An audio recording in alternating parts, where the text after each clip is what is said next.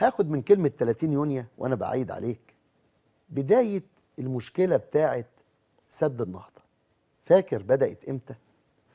هي كلنا نتذكر آه، أول إعلان لسد النهضة كان في فبراير 2011 وده يمكن بعد تنحي الرئيس الأسبق مبارك مباشرة. تم الإعلان عن سد النهضة والحقيقة أنه كان بمواصفات وضعتها أمريكا سنة 64 وهي حوالي 64 مليار متر مكعب كان 11 في مليار في البداية. في المواصفات الأصلية 11 مليار. ده اللي أعلن في فبراير. ولكن ما حدث في مصر طمع القيادة السياسية في إثيوبيا. إنها لقت إن فرصة إنها ترفع من مواصفات السد خاصة إن مصر مشغولة بالداخل. فاترفعت المواصفات واتغير الاسم. كان اسمه سد الحدود. اتغير بقى اسمه X مشروع X وازدادت السعة. قالوا تطوير 14 يعني ممكن 14 علميا 11 يبقى 14 واتغير إلى 64 مليار. وتغير الاسم إلى سد الألفية الإثيوبي العظيم. هنا اختار اسم سياسي رنان.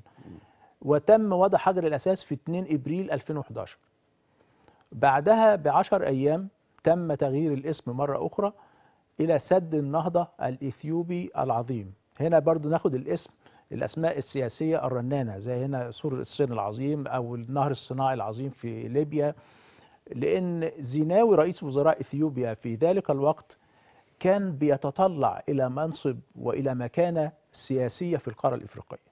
فكان دائما في مخيلته صورة الرئيس جمال عبد الناصر وما ارتبط بهذا الاسم بالسد العالي.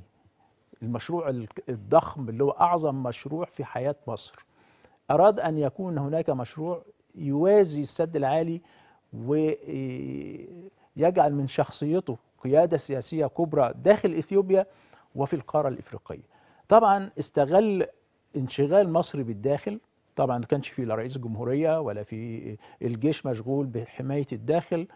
والدبلوماسية المصرية مشغولة تماما وحالة تفكك كانت كبيرة وبالتالي استطاع إن هو يعلي من المواصفات السد وبدأنا بقى في الدخول في مفاوضات.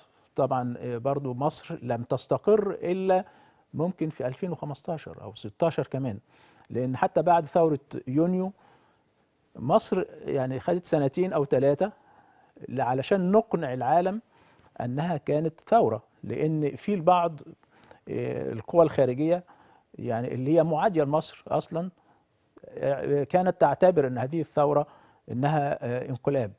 وبالتالي عشان نثبت للعالم رغم إن العالم كله شاف ملايين المصريين في في الشوارع. ولكن في البعض كان بيشكك يعني في هذه الصور إلى أن تأكدوا الموضوع ده خد وقت. لكن في هذه الفترة كان سد النهضة بيبنى. وكانت المفاوضات بتسير بطريقة ربما ليست بالطريقة التي ترغبها مصر. لأن مصر في الوقت ده لم تكن مصر الحقيقية سواء قبل الثورة أو بعد الثورة بسنوات.